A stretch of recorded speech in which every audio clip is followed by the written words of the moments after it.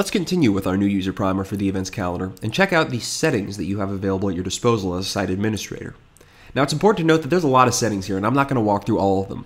That would take a long video and it's not worth either of our time. We do have written instructions that walk through each of these settings in the written portion of the new user primer. In addition, in the lead up to the launch of 3.0, I produced some in-depth videos walking through each of these settings, which you can find in the blog loop on the Tribe website. So if you want to check those out, you might as well. Here, I'm just going to give you a high level overview and allow you to go explore if you want to check them out more on your own. Starting here on the General tab, where these are just, of course, general settings. And you're going to notice that all these settings tabs lead off with a box like this that gives an overview of what the page is going to expect. Here that we're just telling us, here's where the calendar lives, here's where available add-ons can be found, and here's an example of the link that gives some link love back to Modern Tribe if you have it enabled. You're not required to, but if you want to say that, hey, yeah, Modern Tribe's event calendar is powering this, I want to give them a little props for it, have this box enabled. You can turn it off if you don't want it, and our feelings will certainly not be hurt. General settings are things that didn't really fit into any of these other sections, but they're all pretty important. They're things like how many events we want to show per page, whether we want JavaScript controlling the page load, whether we want to allow people to choose between showing the first instance of a recurring event or seeing the entire series, whether we want comments, whether we want our events merged into the main blog loop as opposed to just living on the calendar page. And then there's administrative things like where the calendar lives. Whether we have an end of day cutoff so that multi day events that end in the middle of the night appear or don't appear on grid view for that final day. And a default currency symbol. All of these you are going to want to play around with, and all of these we do have greater depth coverage of elsewhere, so just keep that in mind. There's also walkthroughs right over here in this little italicized text that tell you a little bit more about what each of these do. The map settings are things that relate exclusively to Google Maps. Obviously, if you don't have Google Maps enabled via this checkbox, they're not going to have any bearing whatsoever. So you want to make sure it's turned on, and then you can change things like the distance limit for the map view, what exactly you're using for your map view unit, whether you want it to be miles or kilometers, and then the default zoom level for Google Maps. If somebody isn't looking at a map, though, none of these settings related to the maps are going to impact them in any way.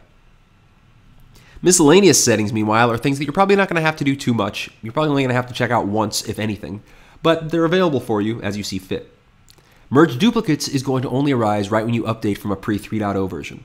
There may well be duplicate venues and organizers in your system. There's really no way of getting around it after such an update, unfortunately. But this merge duplicates button will just take care of eliminating any of those duplicates for you so that you no longer have multiple. It'll merge them all together so you'll have a consistent, accurate number of venues and organizers. And then you have debug mode, which just allows you to turn on debug logging if you want it. Most users, my guess is, won't really rely on this one too much. Moving right along into the display tab, this is where we control the look and feel with regards to the templates on the front end of the site. The basic template settings lead in with the various style sheets we have available, all the way from the basic, pretty much nothing skeleton styles, all the way up to a fully designed and styled theme, which we call the Tribe Event Styles. I can choose the template I want to use for the events. The default events template is wider, the default page template includes a sidebar, and then my theme throws in its own as well.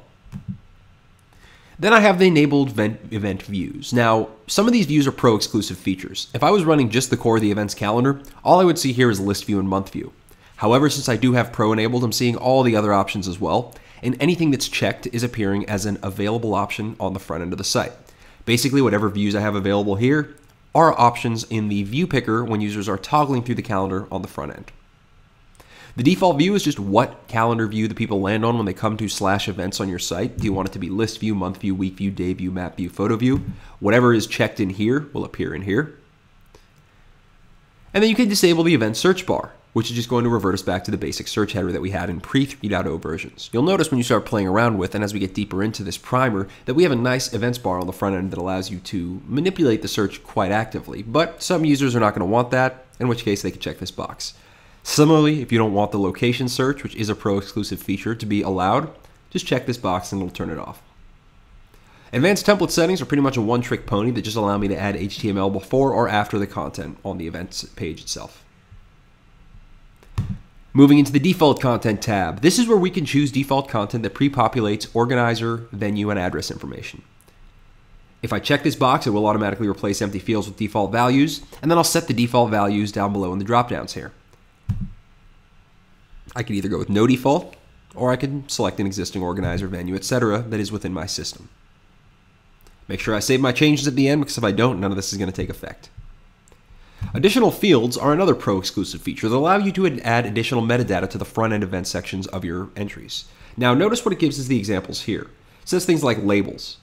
What we're saying is meal plans. Envision, envision how this is going to look on the front end. We're going to say, in addition to showing the basics like the event category, when it's taking place, the venue, the organizer, we're also going to say meal plans and what meal plans are available. So that because our events relate to this and because this is relevant information to our events, we're using the additional fields to give it increased prominence. You don't have to use these. And we have separate screencasts and separate sections of our primer and of our documentation that walk through how to use these in greater depth but they are pro exclusive features. So if you activate just the core ad, the core release, and you expect to see these, don't. You have to have pro in order for this to appear. Licenses we've already covered in a previous screencast, so I'm not going to walk through it here. And help is just an overview of how you can get help. It's a lot of links back to our site, information about other products, etc. But this is just to help you if you find yourself stuck and need better help succeeding. Well, that's where we come in, and that's where this help tab comes in. We've got plenty of resources that should get you where you want to be. That's a high level overview of the settings tabs. It's not the most enjoyable section of the primer because you don't get to see any of it in action, but don't worry. Come back in part 3 and we'll walk through the front end.